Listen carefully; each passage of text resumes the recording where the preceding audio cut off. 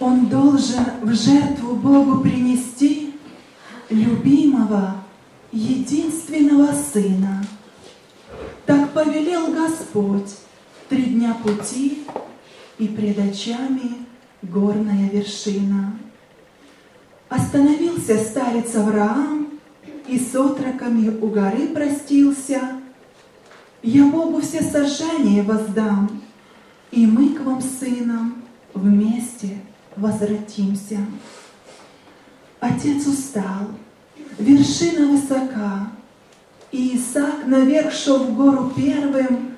Он нес дрова, а у отца в руках лежали острый нож, огонь и вера.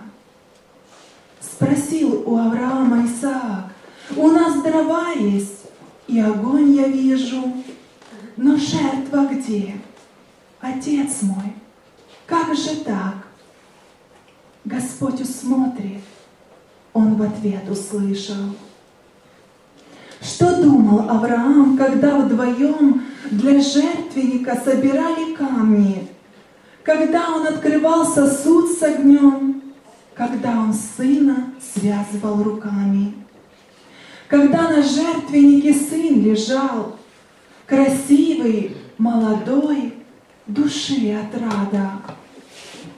И Авраам смотрел, как он дышал, тот, кто был Богом дан ему в награду.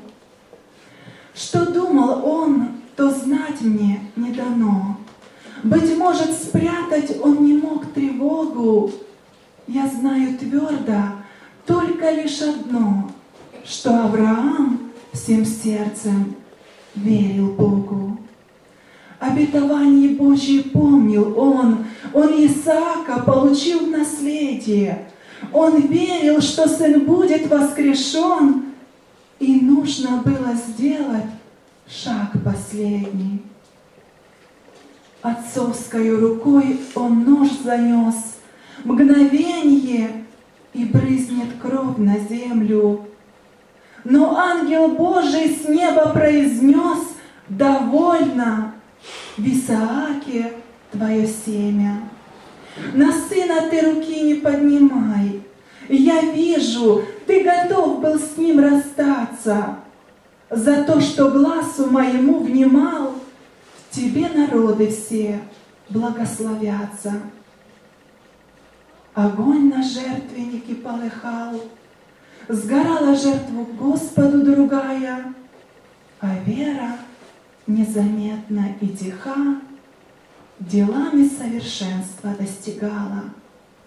С горы отец и сын спускались вниз, И отроки встречали Авраама, Бог веру в праведность ему вменил.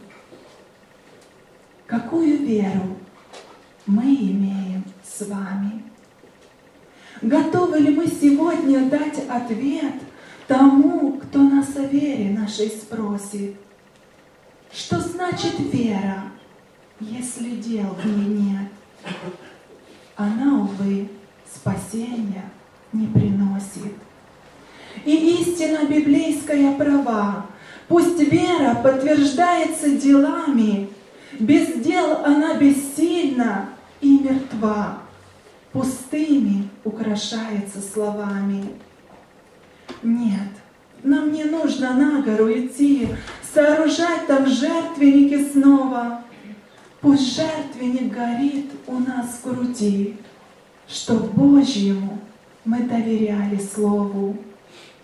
Поверить проще, доверять сложнее, но Бог сказал, что это дело Божье. Живая вера в сутолоке дней и невозможное сочтет возможным.